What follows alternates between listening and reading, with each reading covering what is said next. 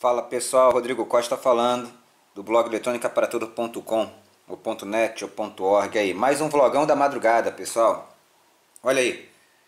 Não é madrugada ainda não, mas está quase lá. Lembrando que aqui em Manaus é mais cedo, costuma ser mais cedo do que a maior parte do nosso Brasilzão aí, ó. São 11 e pouco. Pessoal, olha aí, ó. Isso aqui é vlogão da madrugada, então é aquele vídeo sem edição, é bate-papo aqui entre a gente. Mas a parada que muitos novatos aí, iniciantes no mundo eletrônico, a gente sempre preza muito por eles, perguntam, a corrente elétrica é preguiçosa? Olha que desenho bonitinho que eu fiz. Vocês acham que a corrente elétrica é preguiçosa, cara? Senhoritas, senhores, eu vou dizer para vocês o seguinte, na minha experiência e por tudo que vejo e aprendi, sim, a corrente elétrica é uma coisa bem preguiçosa, tá? Talvez mais que o Rodrigo. Olha isso. Vocês lembram, ó, tá caindo meu papel aqui pelo chão, mas não tem problema.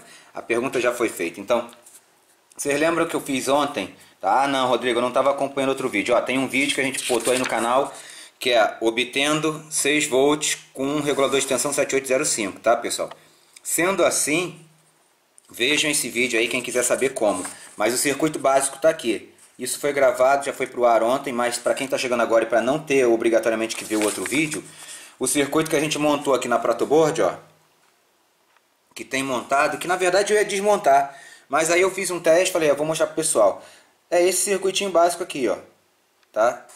Entra 12 volts, temos um regulador de tensão, seu primeiro terminal ali na tensão de entrada. Temos aqui, ó, no terminal 2, que vai para o GND, para o Terra, dois diodos do tipo N4007, que estão bem ali, ó. Esses aqui. Esses aqui, pessoal, estão bem aqui, ó. Um, dois. Tá? Então, para não complicar a montagem, para vocês irem acompanhando, vamos junto, então, botar até bem aqui do lado, ó. Fazer o seguinte, botar aqui do lado, para vocês observarem. Veja só. Então, o circuito que está montado aqui na protoboard é o seguinte. Temos o regulador de tensão, observem vocês, está ali, o 7805. Não dá para ver, mas ele é ele. Tendo aqui um regulador 7805, dois diodos do tipo N4007, um capacitor de 10 microfarad por 16 volts, se eu não estou equivocado.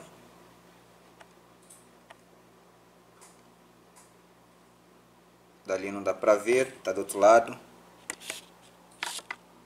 Cadê? Desculpa pessoal, mas é assim mesmo agora. Tá lá. Ó. Show. Então, temos justamente esse circuitinho aqui montado. Tá? Regulador de tensão, dois diodos aqui na referência. Então, o que seria GND de referência para o regulador passa a ser os dois diodos, né? Ele modifica a referência, já que cada um tem uma queda de tensão aqui, ó, de 0,6 volts, né? E na saída a gente vai obter os 5 volts do cara mais a soma das quedas de tensão, da diferença de potencial nesses dois diodos, que é por volta de 0,6, porque eles são diodo de silício. Seria 0,3 se fosse de germânio, né? Na teoria e prática geralmente. Então 5 mais 1,2, na saída a gente tem 6,2. Tá, tá ali o capacitor ó, representado. Mas é verdade isso, Rodrigo? Tá, beleza. Eu vou fazer de novo aqui, só para vocês verem que é, ó. Eu vou ligar a fonte. Tá em 12 volts já. Olha aí, pessoal, nossa placa Arduino ali em stand-by. Olha aí, então já temos 12 volts. E que eu vou pegar esses 12 volts, ó. Tira esse desenho daqui. E vou ligar os 12 volts, ó. Bem aqui, ó. Na entrada. Porque aqui já está distribuído para protoboard. Então vou botar 12 volts aqui.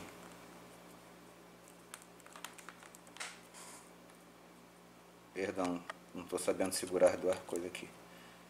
12 volts. Bom, não vou ligar ali ainda não, porque eu quero mostrar para vocês ó, o multímetro. Multímetro, protoboard, multímetro. E eu vou plugar aqui, ó, com jacaré a saída, que a saída tá bem ali, ó.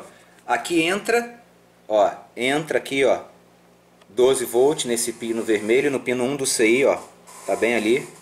E sai para o capacitor eletrolítico pelo amarelo. E do eletrolítico sai a saída vermelha, né? Que é a nossa saída. E o terra. Ok. Vamos plugar isso ali. Deixa eu apoiar esse negócio aqui. Vou tentar, né? Bom. Vamos lá. Vermelho com vermelho. E preto com preto. Tá. Já tá os dois ali. Então, estão na saída. E vamos ver o nosso multímetro, tem que marcar, né? Tá aí. Descer. Tá não marcando nada. Legal, porque ainda não liguei a entrada. Vamos ligar a entrada. Apresenta consumo zero, ó. Zero, zero, zero, zero, zero, zero. Vamos agora ligar de fato aqui. Que emaranhado.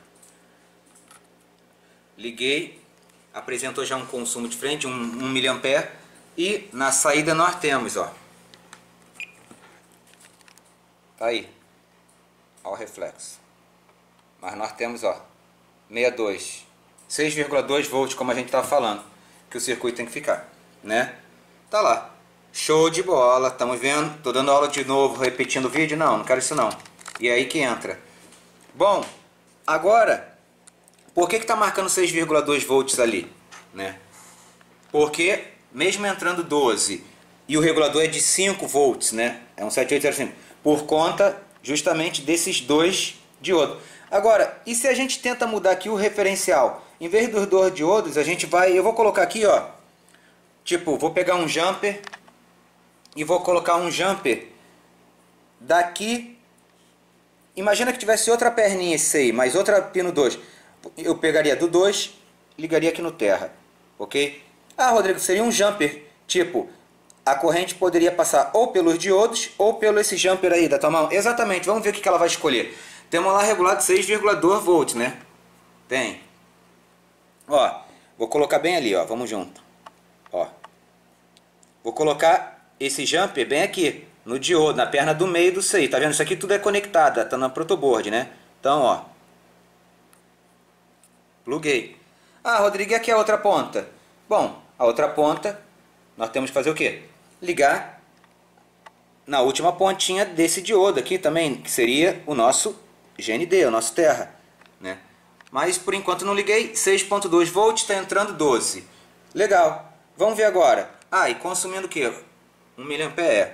Tá, eu vou ligar então aqui, ó. Liguei. Nosso multímetro. 4,999, 5 volts. Cara, como é que pode? Tá entrando 12, mesmo 1 mA. E tá aí. 5 volts na saída. Mesmo circuito. Mesmo circuito, não mudou nada. Como é que pode? Simplesmente porque a corrente elétrica, fica a pergunta resposta agora. É preguiçosa, pessoal. A corrente elétrica está passando por esse jumper aqui, mesmo que ele seja grandinho, mas ele apresenta fatalmente muito menor resistência do que a tensão elétrica, tá? a diferença de potencial para conseguir atravessar esses dois diodos. Ou seja, a corrente fala, cara, eu vou por eles ou vou pelo jumper? Vocês já têm a resposta. Ela vai pelo jumper. Rodrigo, se tu tirar esse jumper fora daí, quer ver? Ó, só vou tirar, ó. Pronto. 6.2 volts, porque a corrente agora não tem opção vai pelo diodão. Agora, se ela tiver opção, ah, meu amigo, olha o que ela vai fazer de novo, ó. Tá aí. Questão de opção. Tem opção, vai pelo mais fácil. Se tem opção para corrente elétrica, ela vai pelo caminho mais fácil. E se não tem, ela vai pelo mais difícil e pronto. Ela atravessa a barreira do potencial aí, a diferença de potencial. Show, pessoal. É isso aí.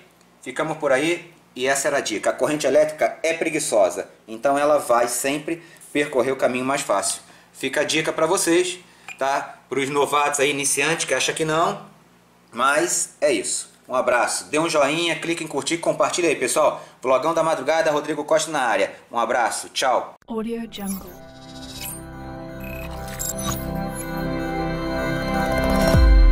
Audio Jungle.